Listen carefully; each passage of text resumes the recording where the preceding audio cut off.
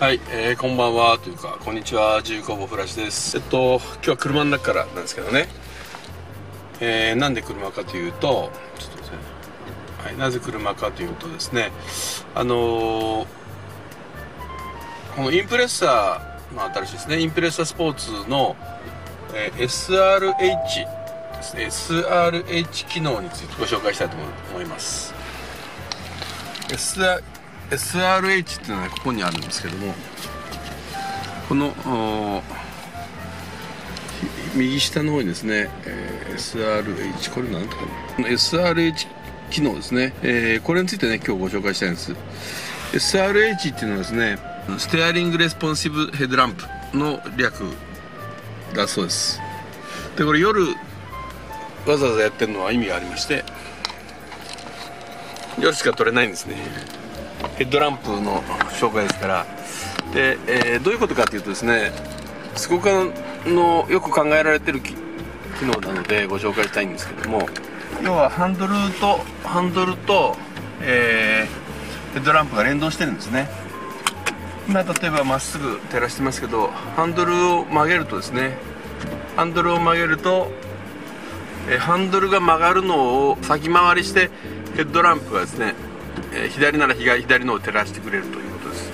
ちょっと動いてみましょう。ちょっと次の角をね左に曲がってみますけども、まあ、ご覧になってください。こうヘッドランプがね先回りして左へ動いてくれるんですよ。これあら今動いたのがありますかね。で曲がるとですねまた、えー、自動的に戻ってくるということですね。はい。もう一度左曲がってみましょう。ちょっと暗いところ行きますね。はいこ今分かりましたかね？スッとこうスッと先回りするようにね、えー、ハンドルを切ってくれるんですね。もう一度行ってみましょう。今度これ右曲がってみましょうね。これを右曲が曲がってみますね。ですかね？曲がりますよ。そうすると後軸が先にほら動きましたね今ね。ハンドルよりも先先に曲がるんですよ、まあ、ハンドルよりも先ってわけ。ハンドルのきっかけでぐっとこう左に回回回ります。こうですね。見てください。左行きますよ。はい。切る。ほらヘッドランプが先にスッと動くんですね。そして戻ってくると。ちょっとね微妙で分かりにくいかもしれませんけども、えー、運転してる側にとるとですね相当相当これあの安全性を考慮してるなってことが分かります。そこもねもう一度。ほら今今分かりましたよね。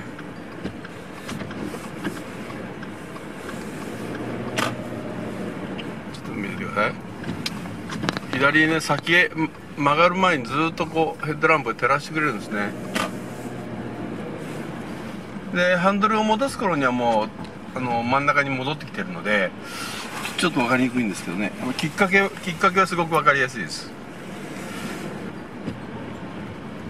まああのカーブの時にですね、えー、カーブの曲がった先のをあらかじめ照らしておいてくれるというそういう機能ですね。ステアリングレスポンシブヘッドランプシステムっていうんですかね。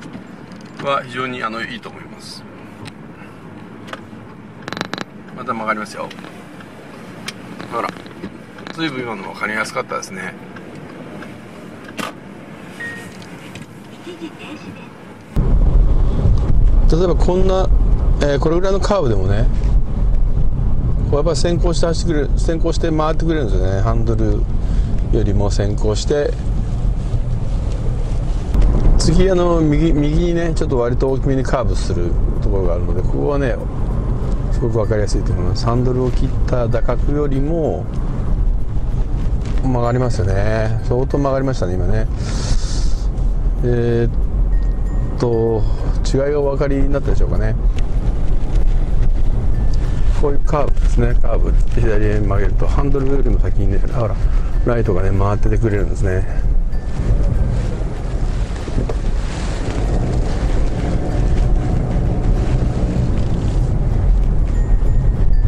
微妙にね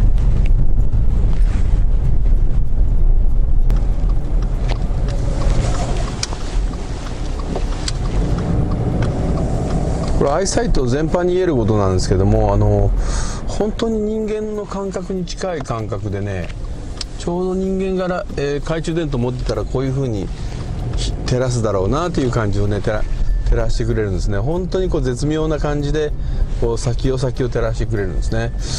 これはねよく考えられてるというかよく作り込まれてる仕組みだなというふうに感じますね。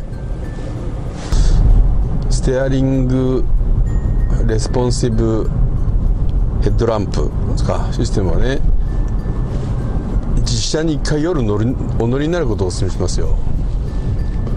もうほんと体感して分かっていたほら今の場合もね随分早かったですね。体感して分かっていただけると思います。そのハンドルを切るスピードとかにも応じてるようですね。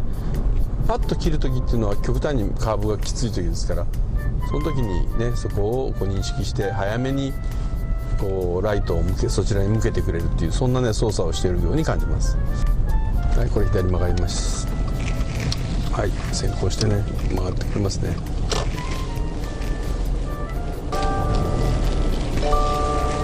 ちなみにこれはバックの音です。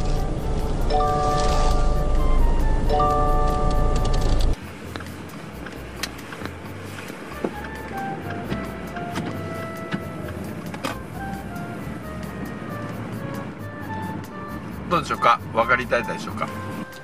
はいという具合にですねこのレスポンス、えー、ステアリングレスポンシブヘッドランプっていうのはですねすごく使いやすいというかあの便利な機能ですね。昔あのなんかそういう車、えー、タッカーだったな？タッカーっていう映画でステアリングとヘッドランプがこうね連動して動くっていうそんな最新のメカニズムをねそのタッカーという車に搭載したっていうねそんな映画を思い出します。まあ、今ではこれ当たり前ですね。あの以前乗った、えー、ボルボでもね同様のシステムが使われていました僕は当たり前なのかな。ちょっと調べてみますけども、まあ、これスバルの、えー、ステアリングレスポンシブヘッドランプ。のご紹介でした。はい、えー、最後までご視聴いただきましてありがとうございます、えー、これからもねインプレッサの機能についてですね少しずつご紹介していきたいと思いますのでお楽しみになさってください。以上自由工房フラッシュでした。ゆうさんさよなら。最後までご視聴いただきありがとうございました。今回の動画がよろしければグッドボタンを。私に質問のある方はどんどんお寄せください。それでは次の動画でお会いしましょう。